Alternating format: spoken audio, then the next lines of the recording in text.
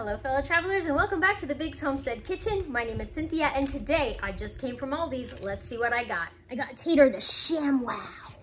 He loves to like snuffle for little treats and stuff, so I thought this would be really cool for him to just has a, have as a snuffle blanket. Here is what I got. My total was $102.42 for everything you see here, which ain't a lot. We'll start out with ice cream. This was $2.19. They were on markdown, and this was $2.19. This is like a knockoff of Cherry Garcia, which is my favorite ice cream in the whole world. Pick that up. $2.49 for the half little whatever this is. It's not a half gallon anymore. But anyway, $7.99 for some cauliflower gluten-free pizza because I'm tired and I didn't want to cook tonight. My in-laws are coming for dinner tomorrow and I thought we would just have sandwiches with chips. So I got sour cream and onion and some barbecue chips, 188 each. There's my little chamois towel, 4.99 for tater and $2.99 for these gloves. I tried these gloves. I got a two pack of them. I love them. They're fantastic. So they were on markdown. I got them again. $1.89 for these beefsteak tomatoes. We're gonna have tomato on our sandwiches tomorrow.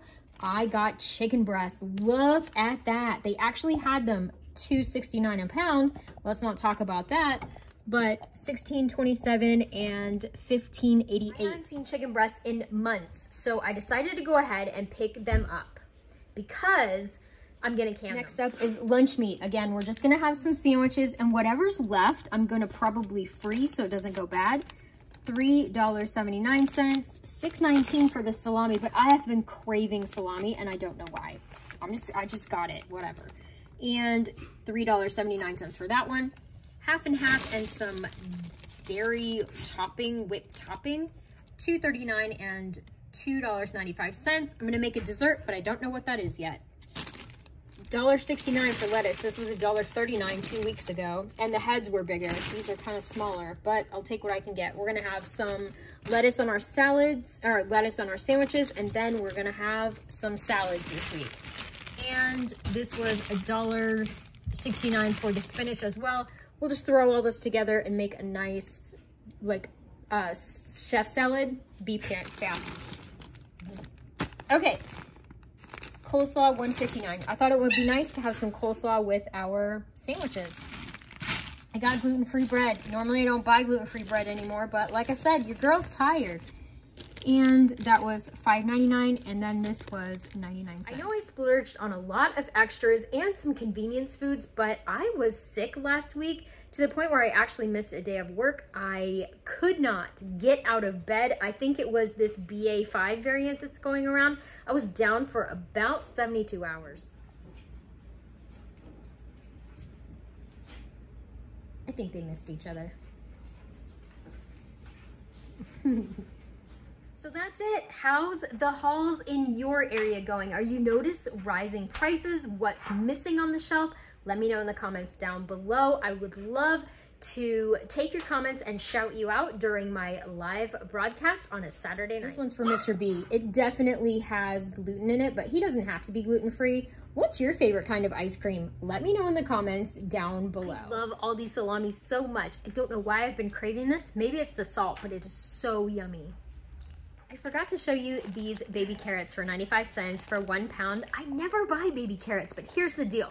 They had very few two pound bags of carrots and what they did have was super slimy and gross. So I went for the next best option, which was the baby carrots for 95 cents. Do you buy baby carrots? How are you finding produce in your area? Please let me know in the comments down below.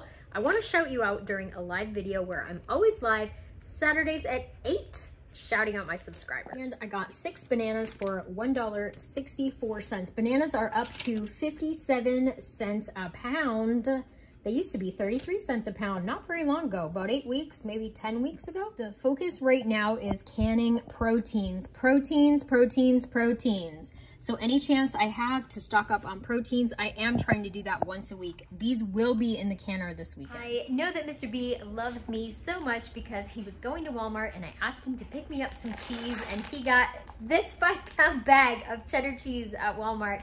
Now listen, he did so good. He said, I knew that you would want me to look at the price per ounce, just like you do on all your videos. And this big bag was 17 cents an ounce, and the next size up was 24 cents an ounce. So I just went ahead and got you five pounds of cheese. And that's how I know that he loves me. We freeze our cheese, so I broke up all of the shredded cheese into one pound bags and ready for the freezer. I'm not counting this cheese in my grocery budget or as part of my $100 haul because Mr. B used some money that he had from flipping a motorcycle to purchase it. There it is, 17 cents an ounce. I got one, two, three, four and a half bags. This is great. These are going in the freezer. We don't eat a whole lot of cheese. We just usually unfreeze it for a second, take out what we need, and then freeze it back again. I doctored up that pepperoni pizza with some ham, mushroom, onion, and green pepper. Here's a cute shot of Tater's sweet little face. He is doing great integrating in our family. It's editing me, and I guess I deleted my outro. So thank you so much for watching. And remember, no matter where you roam, you can always find your way back home to the Biggs Homestead Kitchen. Bye-bye, everybody. Bye.